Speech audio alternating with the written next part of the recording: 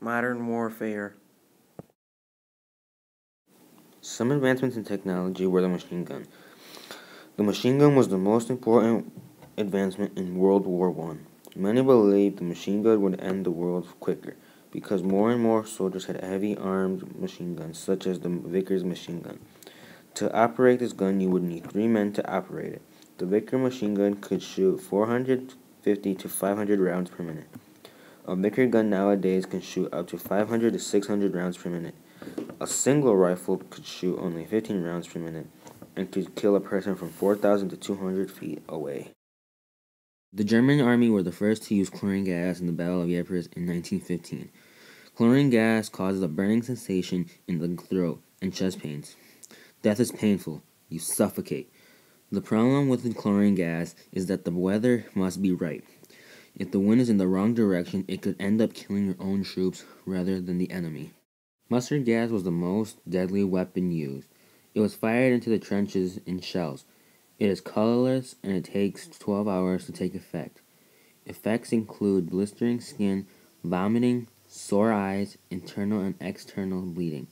Death can take up to 5 weeks. The Zeppelin, also known as the blimp, this was an airship that was used during the early parts of the war in bombing raids by the Germans. They carried machine guns and bombs. A Zeppelin could carry up to 4,400 pounds of bombs.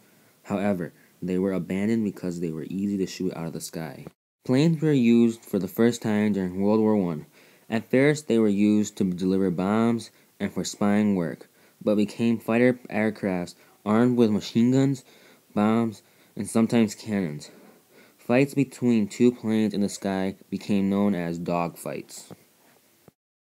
Flamethrowers were invented in 1901 by a German engineer named Richard Fielder. Like mustard gas, it was used to clear out trenches. Flamethrowers threw burning liquids at people and things, causing them to burn for a long period of time, forcing the enemy to retreat. Because of the danger and friendly flamethrowers aren't used today. Torpedoes were used by submarines. The Germans used torpedoes to blow up ships carrying supplies from America to Britain. The Germans torpedoed the passenger liner Lusitania on May 1, 1915, which sank with the loss of 1,195 lives. Americans were outraged and joined the war in 1917 on the side of their allies.